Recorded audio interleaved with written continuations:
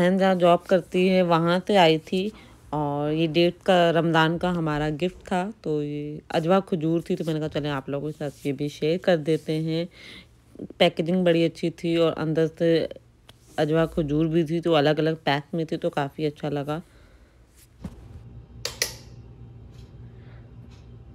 अस्सलाम वालेकुम एवरीवन कैसे हैं आप सब लोग? आप सब लोगों को मेरी जानब से रमज़ान की बहुत बहुत मुबारक हो।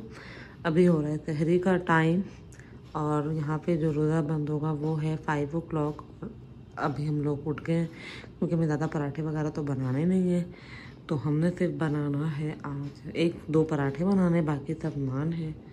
तो वो हम लोग करेंगे तहरी की तैयारी। वो आपके साथ शेयर करूँगी। आई होप आपको आज का ब्लॉग पसंद आएगा। चलते हैं किचन में। किचन में भी जाते हैं।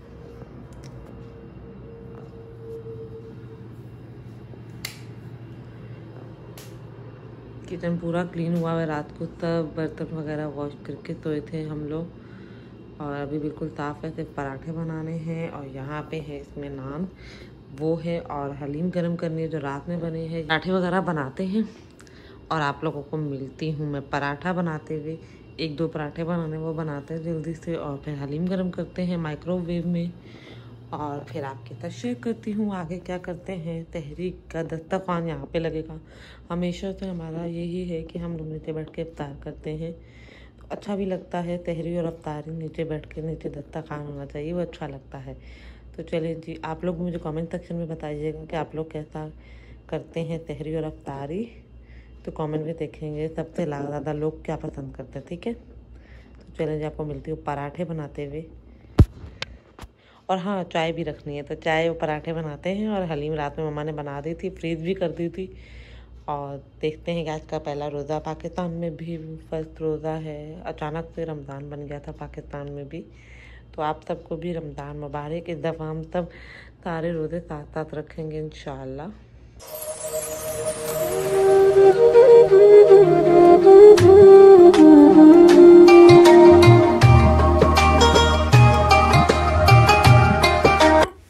पराठा बनाने स्टार्ट कर दिए और यहाँ पे ऑयल बॉटल फिल करनी है। सबसे पहले कि ऑयल बॉटल फिल कर लूँ, उसके बाद पराठे बनाना स्टार्ट करती हूँ, वरना बीच में ये काम आ जाए तो बहुत ज़्यादा बुरा लगता है।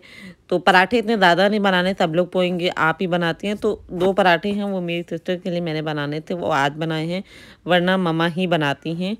तो आज फ़र्स्ट डे था ममा सो गई थी, इस वजह से मैंने बना दिया। तो अभी स्टार्ट करते हैं पराठे बनाना। Ooh, ooh, ooh.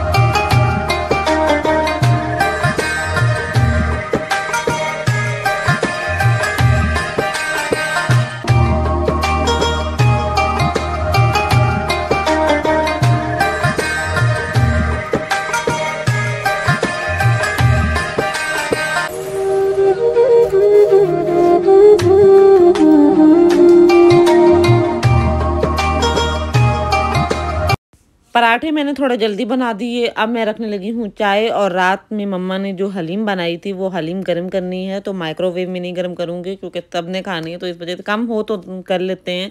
लेकिन अभी हम लोग इसे स्टोव पे ही करेंगे और मैंने चाय चढ़ा दिया इसमें अब पत्ती डालेंगे चीनी डालेंगे और मुझे चाय जो पसंद है वो कड़क है पत्ती ठोक के और चीनी रोक के। अलकुम बाजी रमज़ान मुबारक। रमज़ान मुबारक। आप सो गई थी? जी। और सुकून क्यों है घर में? हम्म? सुकून क्यों है? बच्चे सोए इफ्तार में क्या होगा? बच्चे उठे होंगे।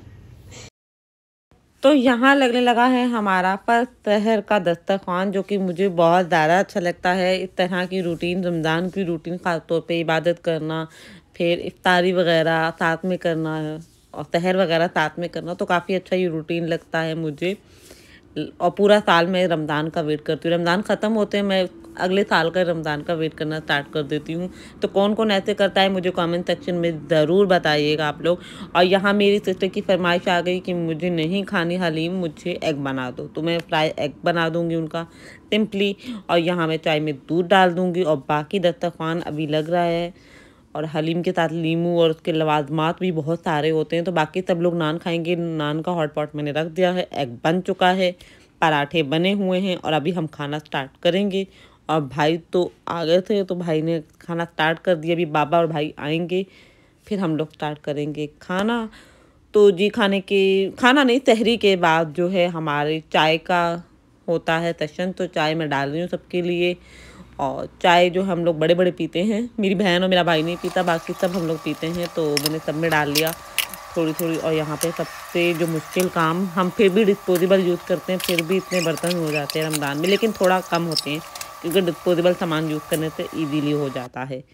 तो ये डेकोरेशन जो है मैंने अपने कॉर्नर नमाज़ कॉर्नर करके, इस तरह करके बनाया है। आपको पसंद आया होगा तो यहाँ मैं पढ़ती हूँ फजर की नमाज़ और आपको मिलूँगी इन सुबह। अभी हम लोग जा रहे हैं फ़र्स्ट रोज़े वाले दिन ही कुछ ग्रॉसरी का सामान करने जो मामा भूल गई थी। अब वो लेने जाएँगे। और मौसम को इतना प्लेजेंट हो रहा है भाई। हवा चल रही है बड़े मज़े का वेदर मैं तो सोच रही थी गर्मी है तो नहीं जाऊँगी लेकिन अच्छा मौसम है। भाई और मोहम्मद जा रहे हैं मामा ही जा रही। हाय मामा अस्सलाम वालेकुम रमज़ान मुबारक। आपने सबको दुआओं में याद रखना है। इंशाल्लाह इंशाल्लाह। चलो चलते हैं। आज देखते हैं क्या रौनक भाई लगी हुई है। फ़र्स्ट रोज़े वाले दिन हम लोग जा रहे हैं। कुछ ज़रूरी ज़रूरी सामान लेना है वैसे इतना तक कुछ नहीं। क्या क्या लेना है मम्मा फ्रूट वगैरह लेना फ्रूट वगैरह लेना है फ्रूट चाट के लिए जो सबको पसंद होती है। तो चले जी चलते हैं। ओके। चल दादू के पास जाके जा। पीछे जाके बेटा आ मोहम्मद। अस्सलाम वालेकुम मोहम्मद। रमज़ान मुबारक। ये बाबा। ये बाबा को दे दो मुझे। रमज़ान मुबारक। मोहम्मद रमज़ान मुबारक। रमज़ान मुबारक। अशम्मा करो। अशम्मा रमज़ान मुबारक। इधर देखो। हेलो। हेलो। आपको रोजा नहीं है? आपको रोजा नहीं ओपन कर दो? ओके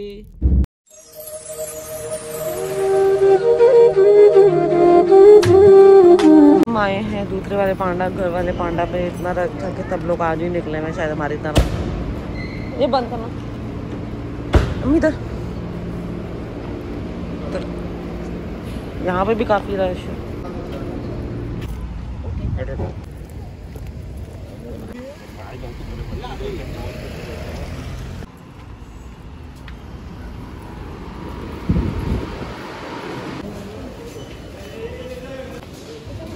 इतना रश।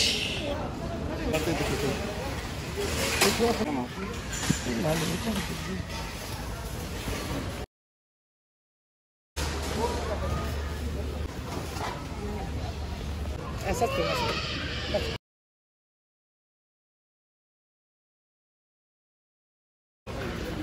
तो जी हाँ हम लोगों ने पांडा से ग्रॉसरी शॉपिंग कर ली मतलब फ्रूट्स ले लिए और फ्रूट्स लेने के लिए हमने इतनी तबाहियों वाली लाइन में लगी। पहले हमने उसको वेट करवाना था, उसके लिए लाइन में लगना पड़ा। फिर हमें काउंटर पे पेमेंट के लिए वेट करना पड़ा काफ़ी ज़्यादा और व्यू देखें आप कितना कोई अच्छा वेदर हो रहा है। यहाँ पकौड़ों का बैटर तैयार हो गया है। दही बदले मैंने सोख करके रख दिए हैं। और यहाँ पे है कैरेट। पकोड़ों का बैटर मेरी बहन ने बना दिया है, तर, तहरी के लिए जो चिकन है सालन वो भी बना दिया है। कि अफ्तारी में भी खाना हुआ, किसी ने खा लिया, वो कोई खाता नहीं है वैसे। तो मैं यहाँ पे अनियन चॉप कर रही हूँ, दही बल्लों के लिए। मेरी यूनिक रेसिपी नहीं है, जैसे सब बनाते हैं वैसे ही बनाती हूँ। तो मैं इसमें लब्बन ऐड करती हूँ, जिसका टेस्ट बहुत ज़्यादा मज़े का आता है। लेमन के क्यूब मैंने इसमें डाल दिए, ज़िंदगी आसान हो गई सारी। और चाट मसाला डालती हूँ मैं इसके अंदर। और थोड़ी सी शुगर डालती हूँ और जो बल्ले हैं उनको दबा दबा के उनका एक्स्ट्रा ऑयल जो है मैं निकाल लेती हूँ, जो आप देख सकते हैं वीडियो में। और अनियन डालूँगी, मैं इसमें चना भी डालती हूँ बॉयल पटेटो भी डालती हूँ। तो मेरे दही बल्ले सिंपली हैं, लेकिन अच्छे होते हैं, मज़े के होते हैं सब घर वालों को पसंद आते हैं। तो दही बल्ले में मैं चने भी डालने थे तो चने मैं ले आई, मैं भूल गई थी एक्चुअली तो वो चने में ले आई और डाल दिए और ऊपर से मैंने चाट मसाला डाल दिया अगर आपको ग्रीन चिली पसंद है वो भी डाल सकते हैं। चटखारे दाल दही बल्ले तैयार हैं तो यहाँ पे शरबत बन रहा है। तो आज हमारे बन रहा है रू अफ़ज़ा क्योंकि हमारे घर वालों को रू अफ़ज़ा पसंद है। किसी को जामे शीरी पसंद होता है लेकिन हमारे घर वालों को रू अफ़ज़ा तो वही लेमन के क्यूब डाले ज़िंदगी फिर आसान। आराम। ये टेस्ट करें मेरा रोज़ा नहीं है आप टेस्ट करें कैसा है? हाँ देख मीठा सही है? लेमन अच्छा बना सबको पसंद आएगा। अगर नहीं पसंद है, मैं कहूँगी, हरम ने बोला सही है? मज़े का मज़ेदार बोल लो। अमल, आप क्या कर रही हो? हाय।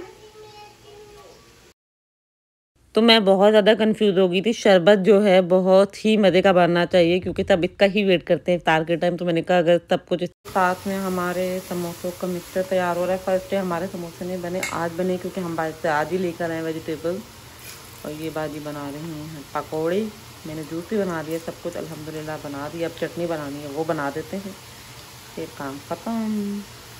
टाइम भी आप लोगों को मैं भी दिखाती हूँ। आप लोग बताइएगा आप लोगों का फ़र्स्ट कैसा गया, ठीक है? फ्राई हुए पकोड़े। चटनी के क्यूब यहाँ निकाले और ज़िंदगी फिर आसान तो जल्दी जल्दी मैंने चटनी निकाली और इसको लोग कहते हैं कि ब्लैक हो जाती है नहीं आप इसे माइक्रोवेव करें बाहर निकाल के ना रखें वरना योगर्ट में मिक्स करके रखें।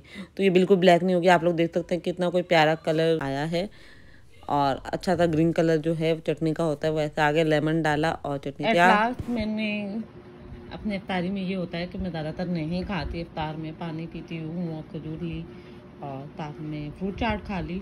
तो अभी मैंने ये पकोड़े लिए हैं और यहाँ पे दही बल्ले लिए उसके ऊपर चटनी डाली है और इसको मज़े से इंजॉय करने लगी। तो मेरी रूटीन यही होती है, जो लास्ट सब्सक्राइबर जो रमज़ान में थे, उनको पता होगा। तो जो न्यू सब्सक्राइबर हैं, उनको पता चल गया होगा। और आज मैंने तारीख का कुछ भी नहीं बनाया, क्योंकि मैंने बस रेसिपीज़ वगैरह बनाती रही थी कि हमने क्या क्या बनाया। बाकी जो इफ्तार दस्तखान था, वो तो आप पूछें ही नहीं ना। लेट हो गए एक तो बच्चा पार्टी में। सारा उदम मचा दिया तो इस वजह से जहाँ बच्चे होते हैं, ऐसा तो होता ही है ना। तो चलें जी, आज का ब्लॉग तहर से अवतार तक आप लोगों को कैसा लगा? प्लीज़ लाइक शेयर सब्सक्राइब ज़रूर कर दीजिएगा चैनल को। इंशाल्लाह मिलूँगी आपसे नेक्स्ट रमज़ान ब्लॉग में। अल्लाह हाफिज़ ईमान, अल्लाह मुझे अपनी दुआ में ज़रूर याद रखिएगा।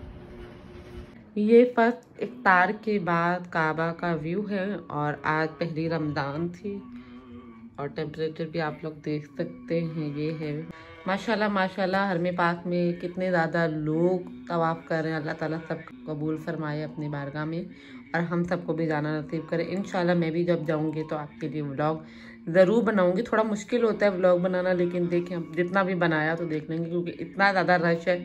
और अल्लाह ताला बस हिम्मत दें और जल्द से जल्द बुलावा करें। आप सब लोगों का भी और हम सब का भी जो यहाँ पर रहते हैं, ऐसे ही बुलावा होता रहे।